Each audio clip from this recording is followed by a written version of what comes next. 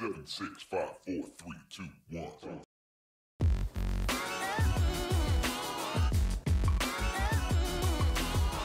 We're creating boss monsters today. And I actually want this video to be about the whole process of concept to animation and how we're gonna solve that to implementation. So let me show you the work that's already been done. Alrighty, I'm gonna go through these fairly quickly.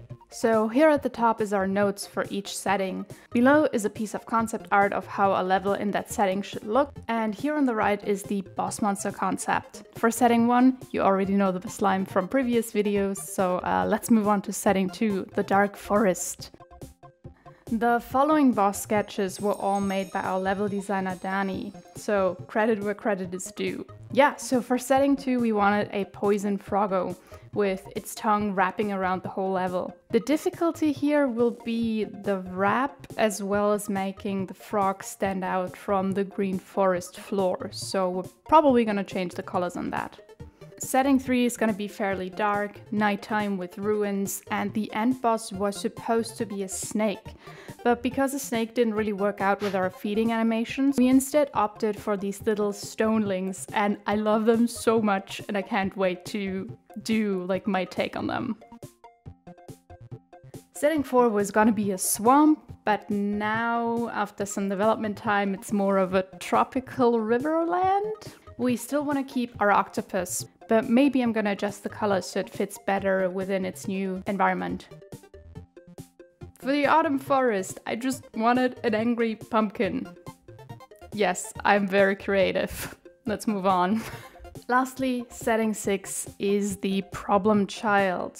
For a long time, our setting was just mountain, and our boss idea was some cute Cthulhu-like thing. Um, Danny came up with the idea of a bird, which we also really liked, but then again, the boss monster shape is kind of awkward and this tropical bird doesn't really fit the snow mountain that we're gonna have. So uh, yeah, this one is gonna be tricky. Um, I'm gonna take some time to do some reference gathering and then let's do some sketching. Gathering references is actually one of the most important parts of starting any design.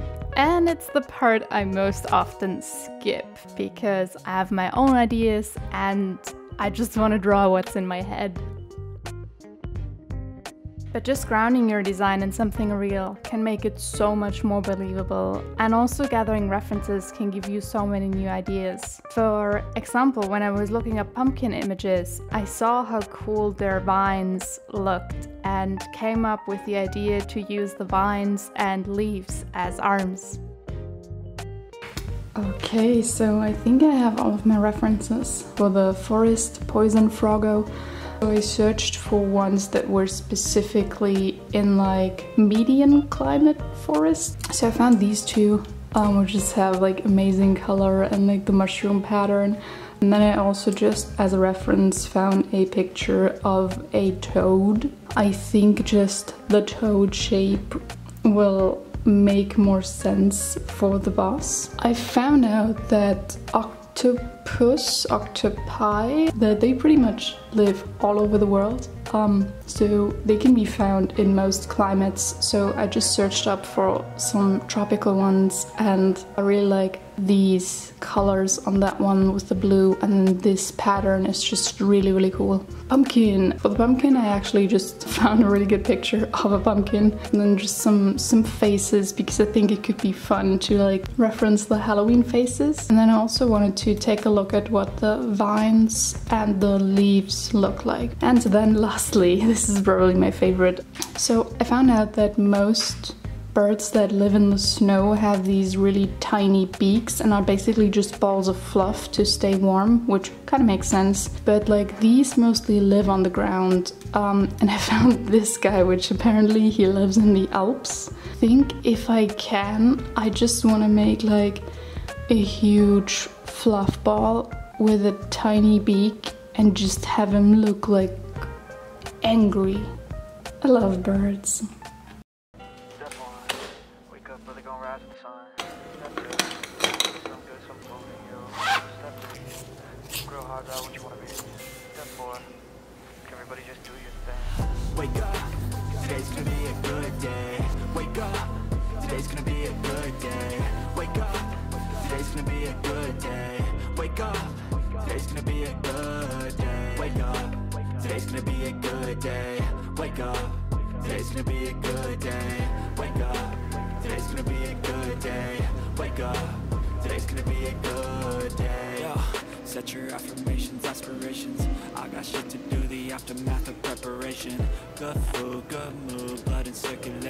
Alrighty, uh, it's the afternoon now and I've done some sketching. Let us take a quick look at it. The Poison Froggo, I came up with the idea for this like weird ass tongue, um, which I really like. So I think if I move some like parts around and like clean it up in Photoshop that this one will turn out really well. Next up, these guys. I found a, a design which I really like, um, which is really close to um, what our level designer originally intended. I, I like the facial expression and I also like that they have um, these little Lego brick parts so maybe they are like parts of them are connected and that's how they kind of form the snake. So um, that's what I'm thinking and I need to see how that looks if I actually make all of these in like this level of detail. Next up, um, I'm not happy with this one, neither with this one. Um, and I think like this one just works the best because it's like the traditional octopus. I'm probably gonna do a mix of like maybe this body and then the cute face. Yeah, pumpkin, just I'm gonna take a photo and put it in Photoshop and just make it like that because I love this little guy. then lastly, let's go to the birds. Um, the bird has kind of an awkward shape. Originally our designer had intended them to be leave space for the beaks. When I was doing like just the blue line sketch for this one, I didn't like it at all. Mainly because there's so much empty space up here. Uh, so I moved on to like just trying to... This one kind of had the vibe that I wanted in terms of like anger, but it also just looks like it's ready to shit all over your balcony. So yeah, even though that's something I'm very familiar with at the moment, uh, that that's not what I want for the final boss of the game. So I did a third attempt. I did these three and then I kind of went back to this one and did a paint over with pencil. And I really like the pencil drawing as well. Yeah, so I think I'm gonna take a break for today um, because it always helps, helps me if I sleep on it for one night and then if I look at them tomorrow and I still really like them, um, I'm gonna take some photos, put them into Photoshop and um, finish these up. So uh, see you tomorrow. I just took some photos of the boss monster drawings that I did yesterday. Um, I still really like them, so that's a really good sign. I'm still very unsure about the bird boss. Um, I'm probably gonna upload the photos that I just took to Photoshop um, and then we can just throw some color on there and just see how they work within their levels and with the background. Let's get some breakfast and some coffee first and I think that's gonna help a lot.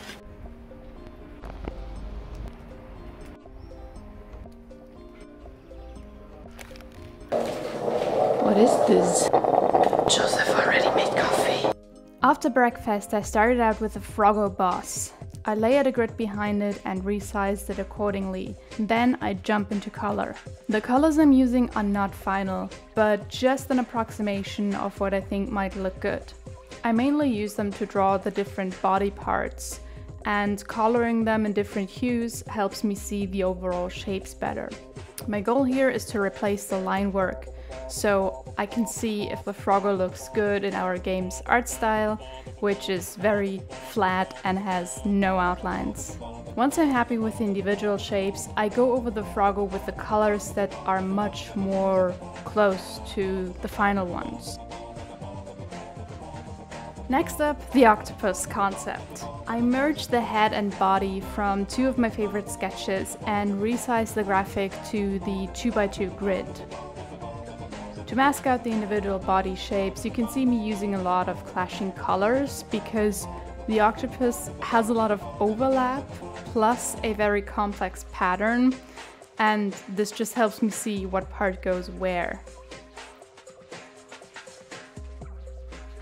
After I'm happy with the shapes, I put up the tile set next to the boss and use some of the orange and pink from the plants to tie the boss and setting together. The stonelings are pretty much made using all the same techniques I've already talked about for the previous bosses, only here I'm using colors that are close to final because I already have a set color palette that I want to use. My main goal here is for this boss to not look too cluttered, so I reduce the detail quite a bit compared to my original sketch. Lastly, I work on the pumpkin.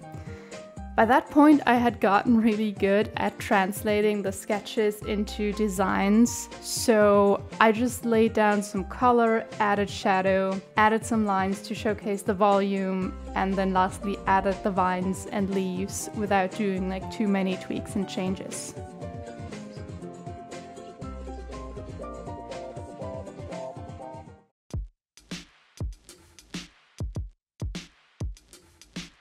It is Monday today, and today I'm gonna have a call with my friend Diana and yeah, tell her what we need for the bosses. Because she's very talented at sketching expressions, I just wanted to do one sketch per animation.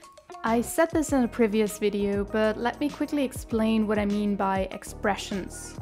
In our game, every monster has four states that it can be in.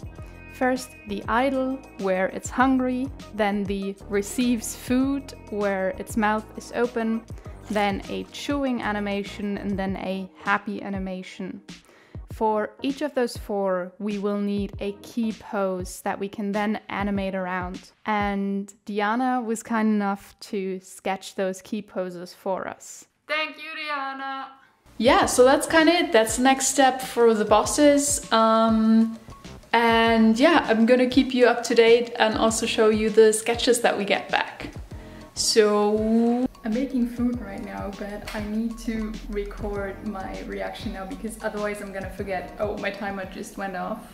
Um, here cooking with this little stove because we don't have a kitchen yet. Um, anyway, Diana just sent me the sketches for the boss animation and they look so cool. I've just seen them on my phone. Um, I'm gonna finish my food now and then I'm gonna take a look at them um, on the PC. But uh, yeah, then I, I need to design the, the final boss um, so she can do sketches for that as well. Um, hype!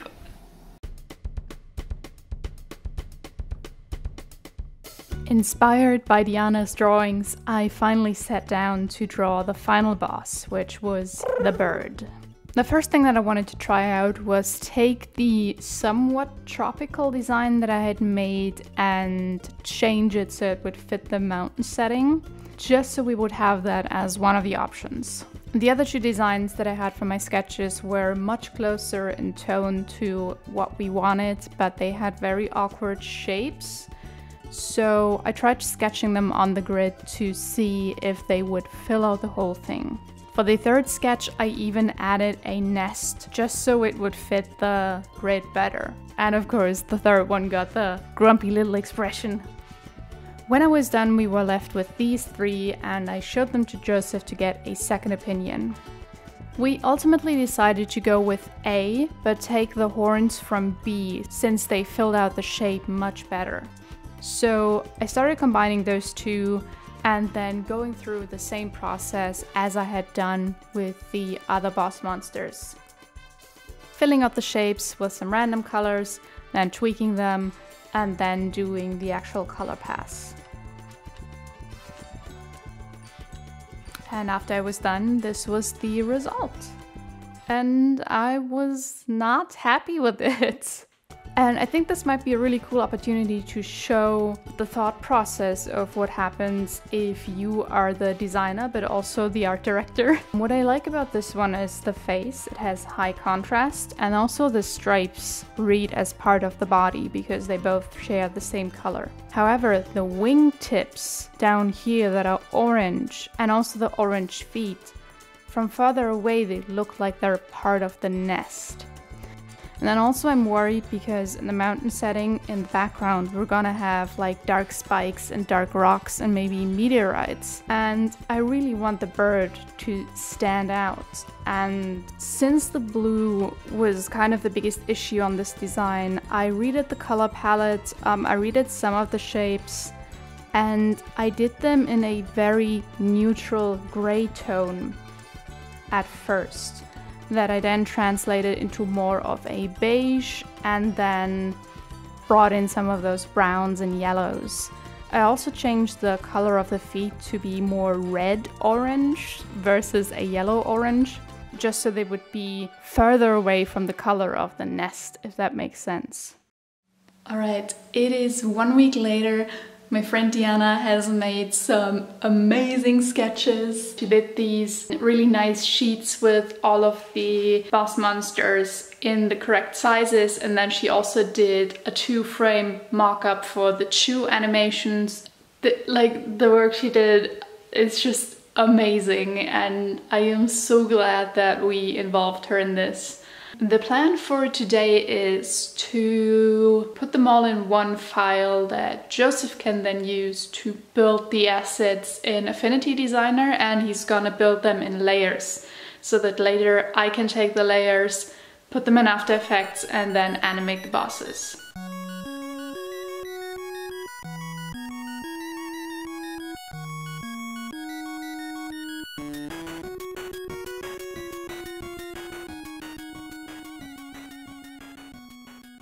Um, I decided to start with the pumpkin because that's the boss I love the most.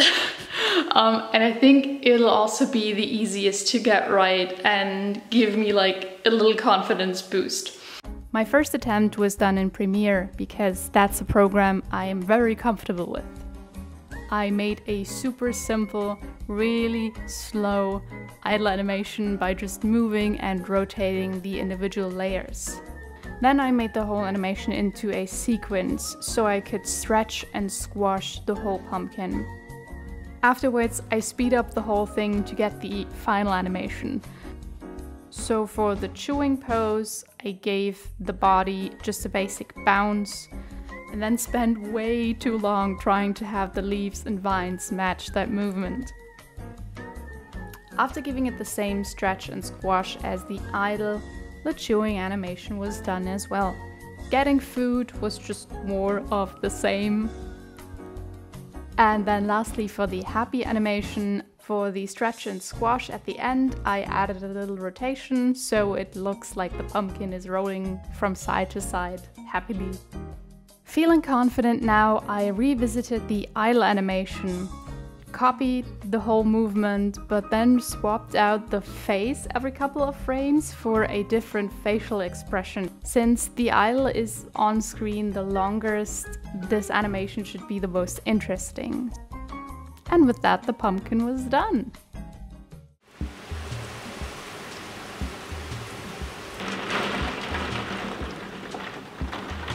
On this rainy day was the perfect time to start working on the frog. Since the assets I get from Joseph are just masks of the different body parts, I have to go in and add details and gradients before I can start animating. Joseph could have probably done this as well, but since I know exactly how I want the details to look, it's more efficient if I do it. I also have to go through all of the layers, merge them and name them so I can easily find them again later. It's been raining most of today and this whole week wasn't really very productive. I ran into some issues when saving out the boss monsters um, and the main one is that when they're animated they don't really fit their collider boxes very well and because we're using like the sprite's actual collision Um, and there's no way in GameMaker to just draw a box. Like there, there's just like a rectangle, a diamond shape, a round shape, um, but there's no way to add more points and like have it be a Tetris shape, for example. And because we're using the sprite as the collision, um, that's gonna obviously cause bugs. So um, we will probably need to change the logic for the boss monsters. So today I just saved out all of the graphics without tidying them up um, and just put them in the engine. So maybe next week our programmer Yuzia can take a look at them and we can figure out how to solve this collider issue.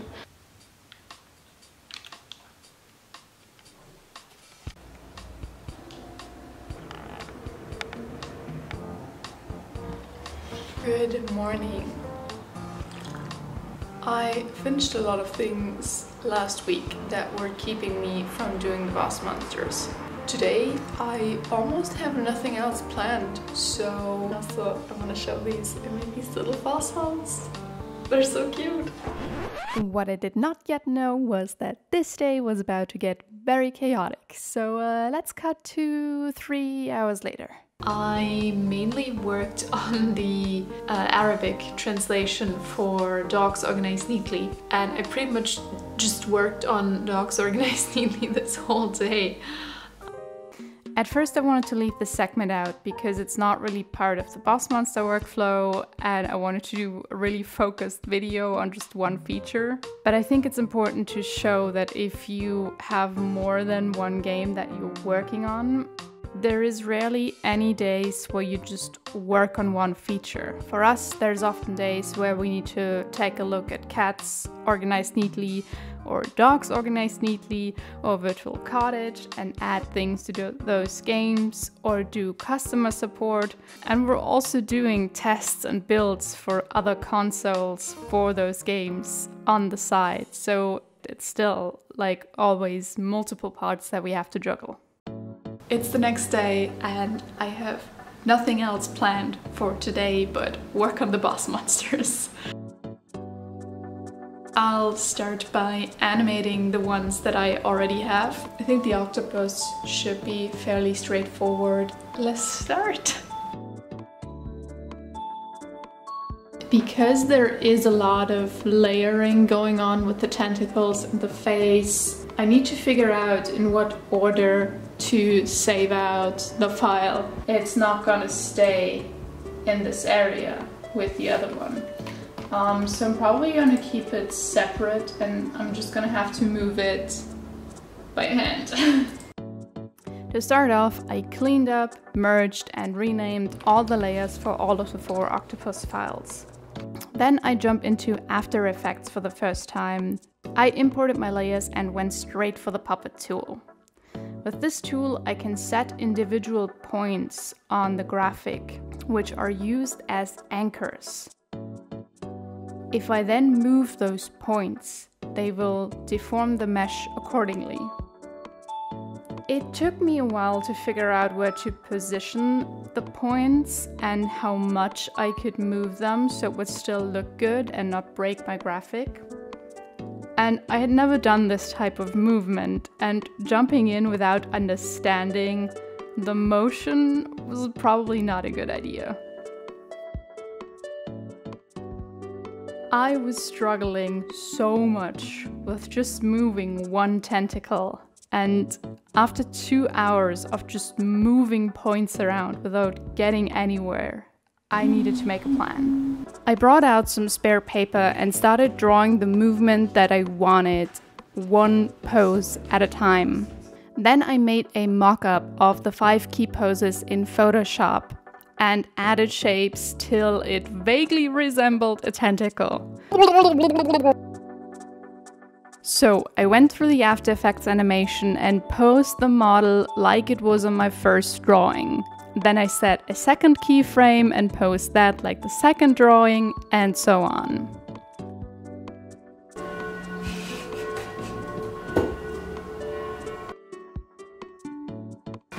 Warum kann ich nicht verstehen, wie eine Tentakel sich bewegt? Google mal Animating Tentacle oder so. I hope I can explain the solution that I managed to find. Let's try. To start off, I added three anchor points at the base, and then three more for the rest of the limb. I start out with just one point, and I plan to add five keyframes to that part of the limb. The first keyframe is gonna be all the way to the left, then one in the middle, then to the right, then back to the middle, and back to the left to create a loop. Then I copy that movement of right, middle, left, middle, right to all of the other parts of the tentacle, so they move in unison.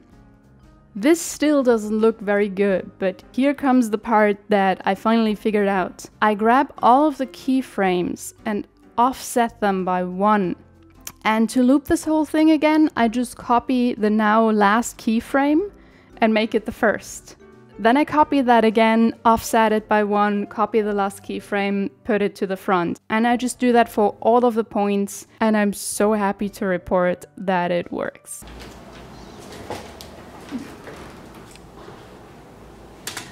This took forever. I think two and a half hours and multiple sketches of trying to understand how tentacles move and one very questionable Google search. Um, I finally figured it out. My problem was that I was trying to stick to this type of logic which is how you'd animate a flag, which I have done for the airship for the game recently. What I was not understanding is, yeah, the movement is technically correct, but since I want the tentacle to move differently at the top than at the bottom, I need a delay because otherwise like the movement was just like this and not like anyway.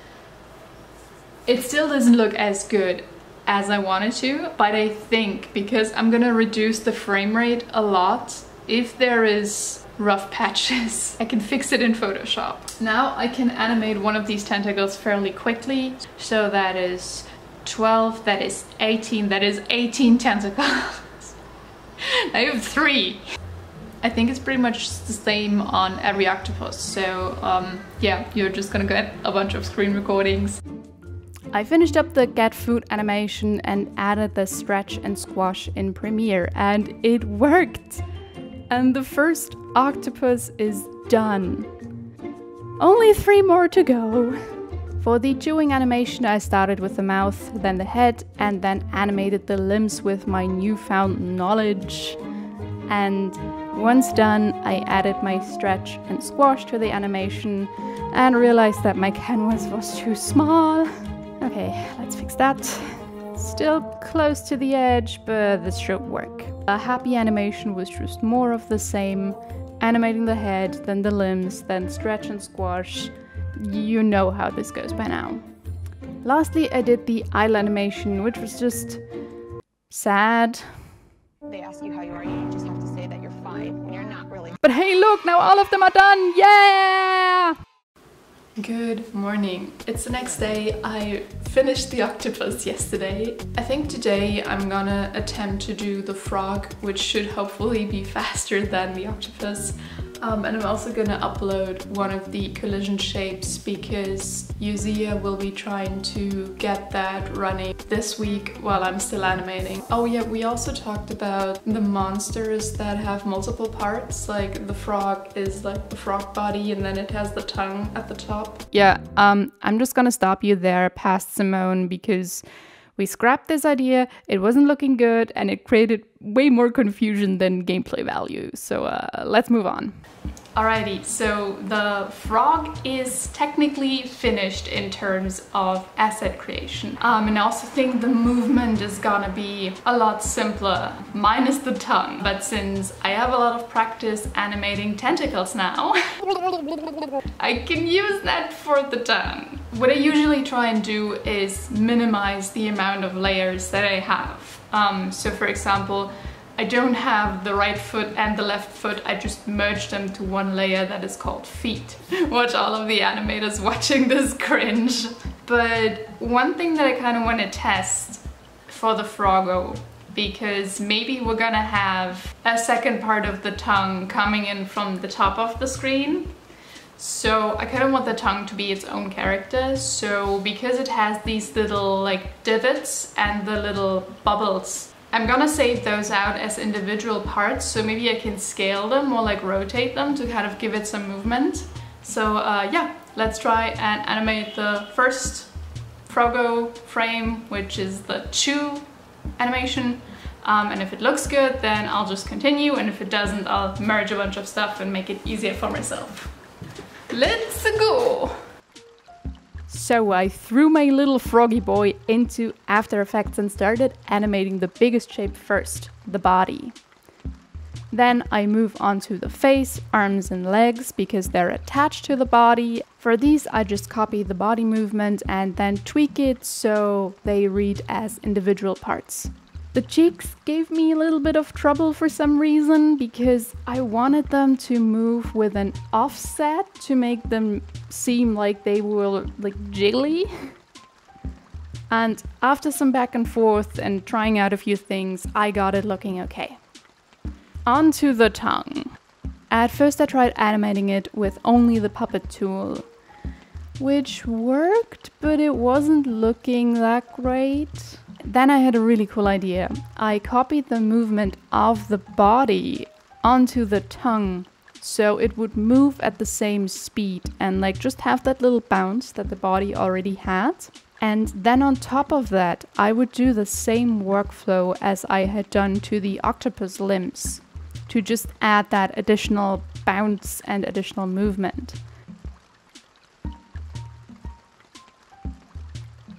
And I really like the end result. Oh, that's gonna be a pain adding the other things. Oh, let's see, maybe I can just copy over the grid thingy. That would be amazing. Next up, the tongue details. These indents were actually super easy to add. The bubbles behind the tongue, however, uh, were causing some problems. I really like where the Froggo has ended up. Um, the those little bubbles behind the tongue, there wasn't really any need for keeping them separately. Like it just broke the art asset. So now the tongue is merged, um, and I think it looks much better because it's just one unit. Um, To wrap up the animation, I scaled and rotated the little indents to make them look more 3D. the little dents, um, I got them to scale, and I think it looks really cool. Um, I know which ones to merge now, and I also know how to animate the tongue now. Armed with this knowledge, um, I'm just gonna sit down for two hours now and animate the rest of them.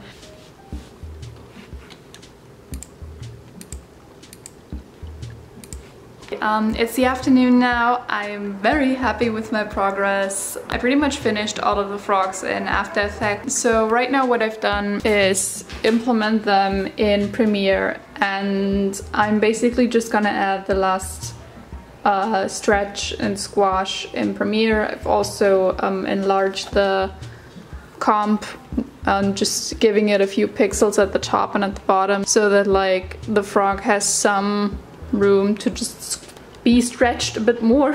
So hooray! Second boss pretty much done, I think.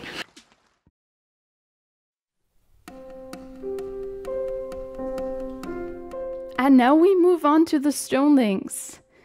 Since I only had three facial expressions for one of these little guys, I first needed to make three more and draw the missing expressions for each. There is two more bosses remaining and those are the two hard ones. At first I wanted to do the bird slash chicken boss, but then I found inspiration for the stone ruin. I don't even have a name for them yet.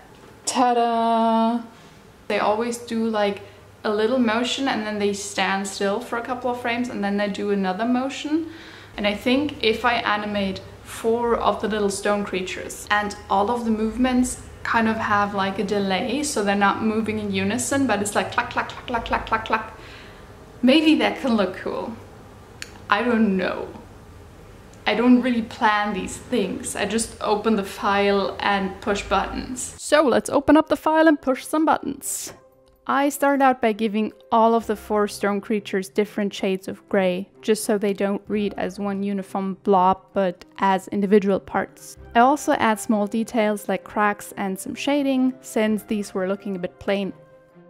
For all of the other bosses, I had a different drawing for each key pose. The pumpkin had different leaves, for example, for each and every pose. But the stone creatures, they all have the same body, like there is no different poses. So what I plan to do is just try and get that body to move in different ways based on the expressions. And now comes the part that I'm actually really proud of. I wanted to animate the first stoneling and then just swap out the assets to copy the animation onto the second stoneling. In order for that to work, I draw the missing limbs in red, so all of them have the same parts. Everyone has like two arms, two legs. This will make copying the whole animation possible. The red limbs I will later just delete so they look like they're supposed to. With my reference off to the side, I start the process of animating the first stoneling. The main distinction between these four animations is going to be the movement of the body, so it's essential that I get this one right. I start by just rotating the body on its axis. Uh, no. Let's try that again. Eh, too stiff and still too fast, so let's tweak that a little. Yeah, getting better. Now we just need to add that little shake at the end so it feels less rigid. Yes, I like this. Now it's time to add the legs. And yes, again, I'm animating both so I can copy this animation onto other stonelings later. Then I work on the head and the arms, and this is how it looks. Before I start detailing, I want to make a second animation to see if I can make it distinct enough from the first one with this limited amount of assets.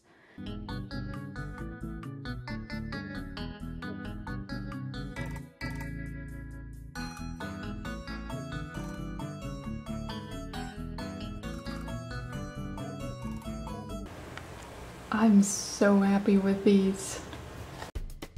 Then it was time to see if my asset swap plan would work.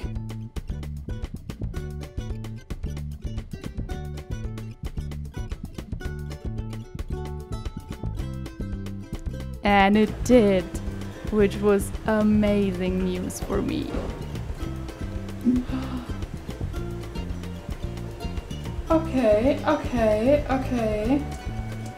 I know this still looks kind of broken because I didn't name things correctly, but the base idea worked.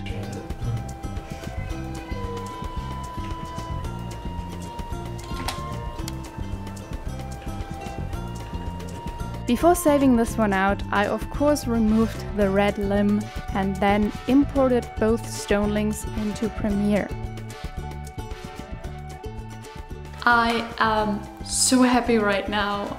Um, my stupid plan of making the animations first and then swapping out the parts worked. Ah, I'm hoping to, I think I have like one or two hours left. Pigeons!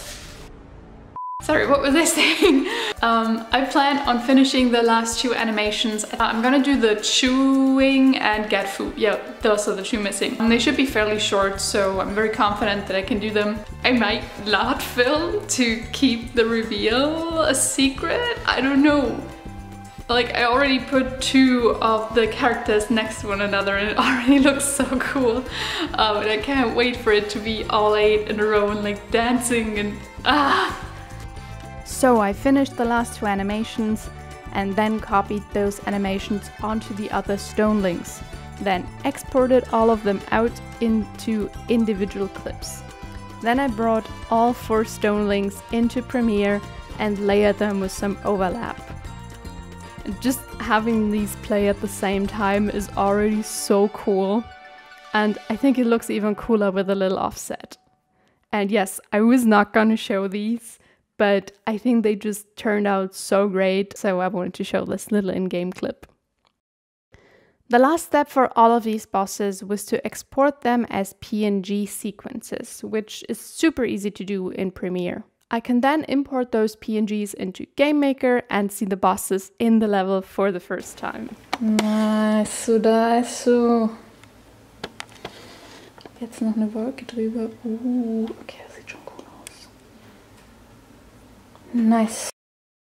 It is Friday now. Um, I haven't really recorded this whole week because Wednesday we got our kitchen um, and then we also had to do a bunch of other like home repairs, home improvement shit, whatever. I'm like right after I'm vlogging this um, I'm going to the hardware store again. Uh, yesterday evening I finished the bird graphics. So I took all the bird graphics, I colored them, I saved them out and I have the After Effects project done now.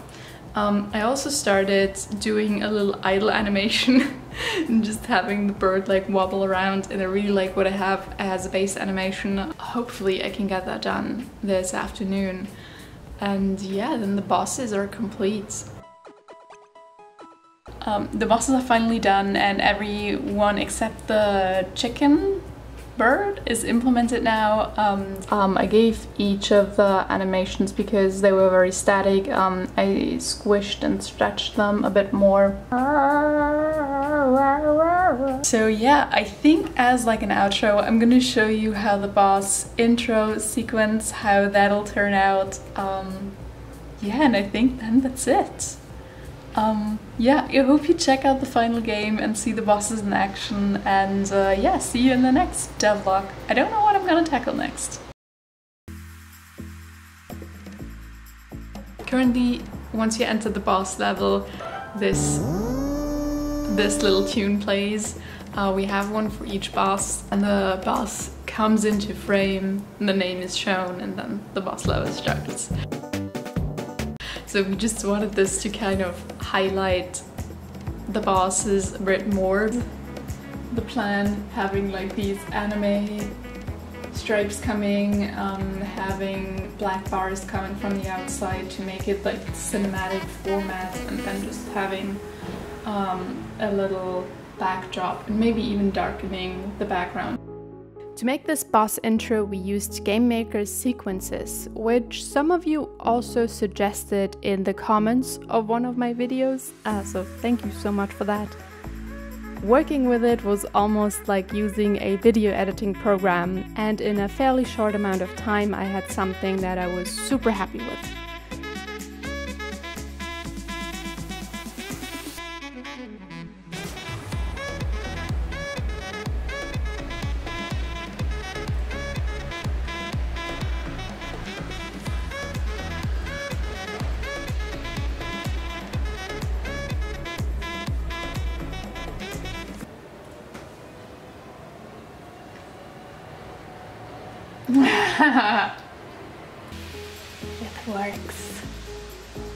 Transferring this sequence onto the other bosses was no problem.